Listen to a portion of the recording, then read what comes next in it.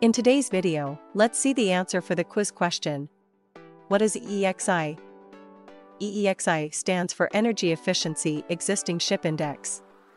It is a measurement methodology developed by the International Maritime Organization, IMO, to assess the energy efficiency of existing ships. The purpose of EEXI is to reduce greenhouse gas emissions from ships by improving their energy efficiency.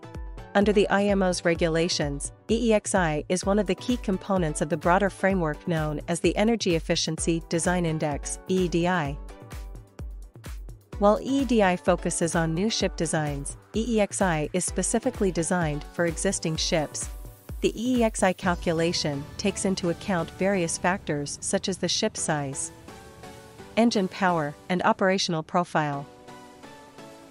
It measures the amount of CO2 emissions produced per transport work, such as carrying one ton of cargo over a specific distance.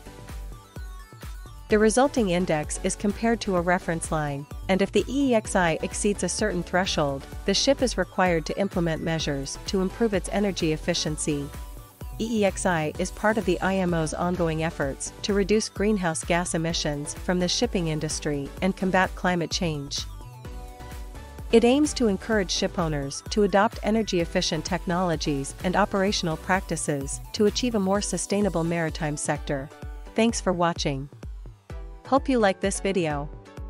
Let us know your questions or comments in the comment box below. For more such videos, subscribe to MarinAura